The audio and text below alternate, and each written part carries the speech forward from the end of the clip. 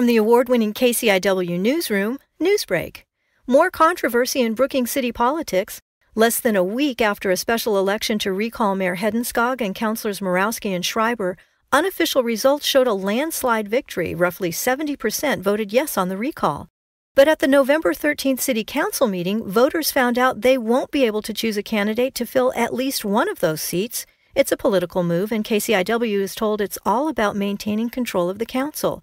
Because by resigning now instead of waiting for the official results of the recall election, it opens the door for the remaining councilors to appoint replacements.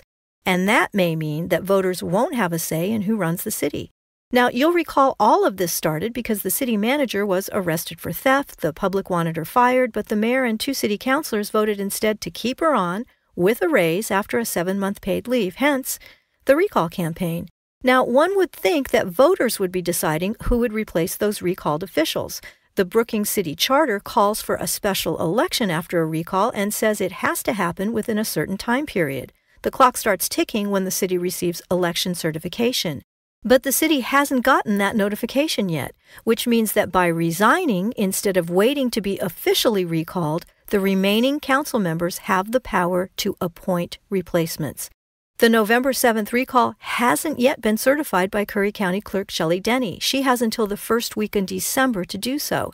But City Council members blocked voters from replacing at least one of those who were recalled, and it means that a special election may not take place at all. So, how did all that happen? Well, Ron Hedenskog and Michelle Morosky, two of the three Brookings City Council members who were recalled by voters, didn't show up for the latest City Council meeting. They resigned instead. The third councilor who was recalled is Ed Schreiber, and he says he'll hand in his resignation too, but not before he voted with councilors Andy Martin and Isaac Hodges to appoint a new councilor. All of this taking place as the Brookings City Attorney listened by phone at the November 13th City Council meeting. And here's the hard reality for Brookings voters. By resigning their seats before Schreiber, Mayor Hedenskog and Councillor Morosky made it possible for him to join with Councillors Martin and Hodges to appoint a new, unelected councillor, Kristi Fulton.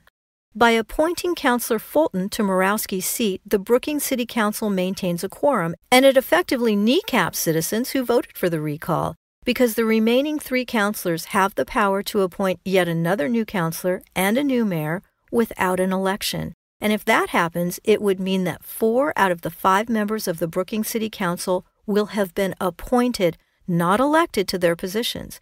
Now, this is an ongoing story, and KCIW will continue to bring you updates as they occur.